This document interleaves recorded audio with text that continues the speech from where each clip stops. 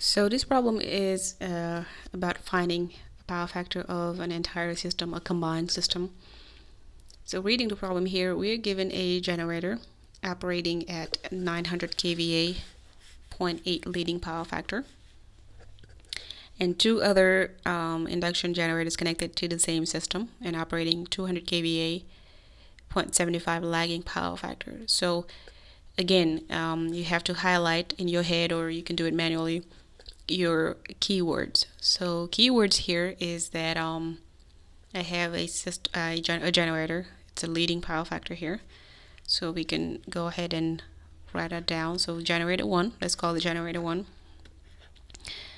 Given apparent power, 900 kVA. And then power factor is equal to 0.8 but it's leading so what does that tell me it's telling me that it's capacitive and therefore uh, I have a negative angle and therefore my Q is going to be negative for a leading power factor. Negative angle your reactive power is negative. So you want to always start with your you know getting rid of your error uh, error trapping mechanism if you will because you can easily forget that you know it's a leading power factor and your Q is negative. And you can you, you know start solving the problem assuming that it's positive forgetting the negative which is important. G2 the other two generators so it's uh, both of them are given as S 200 kVA. But the power factor is equal to 0.75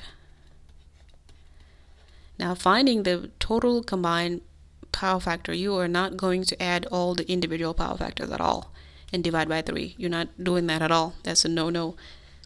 So there's a way to calculate it. You have to calculate your entire um, system. So this, what is this telling me? A, a lagging power factor is telling me that it is, is inductive. So my current is lagging, which means uh, my reactive power is is positive. That's what it's telling me. Okay, so now that we gotten rid of our error trapping, you know, error trapping um, mechanisms or whatever, we can go ahead and start calculating. So what are we asked to do? Power factor.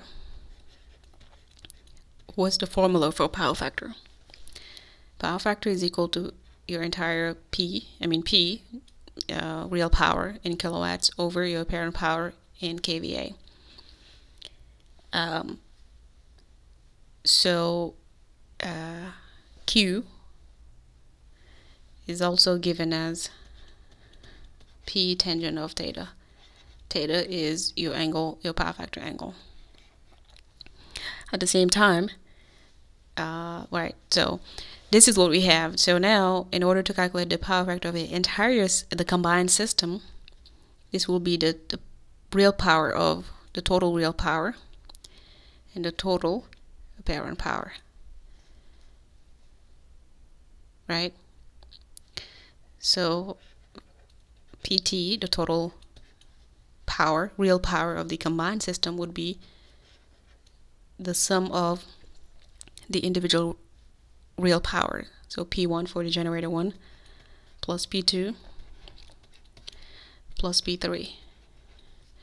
And of course, total um, reactive power would also be Q1 plus Q2 plus Q3. What you're not going to do is add your apparent power. So S total would not be equal to um, S1 plus S2 plus S3. So that's a no-no. Uh, remember that. So this would be PT plus JQT, right? And this is also equal to, because you have S squared total, is equal to uh, Q squared total plus P squared total. So I'm just setting up laying down um, the formulas and kind of finding my way out of this. Okay. So let me use a different color. Um, let me scroll down a little bit.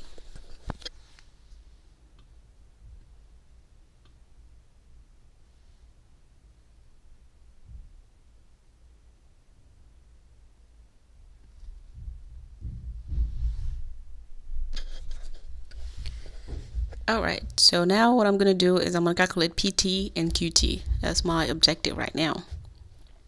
So P1, the formula uh, for power factor is P, um, power factor is equal to P over S. So your real power would be apparent power times your power factor. So for generator 1, it will be 900 times 0.8 and that's equal to 720 because I use kVA here so power would be kilowatts P2 same thing as P3 is equal to 200 kVA times 0.75 for the power factor. And when I calculated it I got 150 so the total PT is 720 plus 300 and that's 1020 kilowatts. So I got that out of the way. Now let's go calculate our Q's reactive powers because I need it in order to get my apparent power right? So Q1 would be equal to P1 tangent of angle, uh, the power factor angle. For a leading power factor, remember the problem, it's a leading power factor for generator 1, the angle is negative and my Q will be negative. So Q1 will be 720 P tangent of theta is 36 um, point 80, uh, 3686 for the power factor because power factor is cosine is inverse cosine of the power factor. So that that's 40 angle. So inverse cosine of 0.8 is 3686 because the angle is negative. Um, I can put here 3686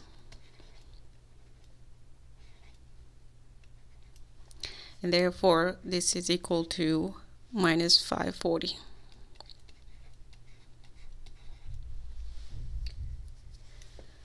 um, Q2 is equal to Q3 um, here it's going to be positive. So P is 150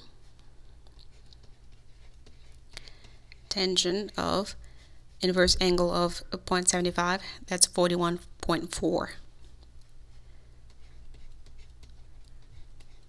and this gives me um, 132 so QT total reactive power here is given as um, minus 276 kVars and these all of these are kVars as well. So total S.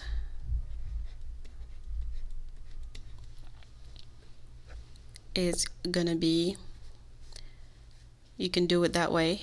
You can use either one of these formulas but either way you do it um, you're gonna be end you're gonna end up with um, uh, one value of, of S right? So Q it will be 276 squared. Doesn't matter whether or not you have minus sign plus total um, P 1020 and of course square root of and this uh, gave me 1056 so now that I have, let me use a different color. Now that I have total P, total S, I can come back here and now calculate my power factor. And this is the final step. So power factor now is equal to 1020 total real power over the total apparent power 1056 and I have 0.96 that's what I got so let me know if you got the same answer as well if you did it differently um, so one thing to remember here is that um, for your apparent power you're not going to add S1 S2 S3 uh, I think that's the only thing. And and and and uh, your leading versus your lagging. What's negative? What's positive? Take that into consideration because remember here, if I didn't have minus sign for my Q here, it would change the answer totally because then I would add 540 to 132, which will give me a different number, which will change the whole answer. So that's why it's uh, it's very good to kind of put all your formulas, what you're given, your knowns and your unknowns, and write down your error traps. I call them error trap mechanism. Put it out of the way. Like error trap means like you know things that you will forget or you may forget or you may actually assume the wrong thing or whatnot. So put it all together. Combine power factor. Um, problem pretty straightforward, but there's a lot of things to to remember as well. So let me know if you if you have any questions.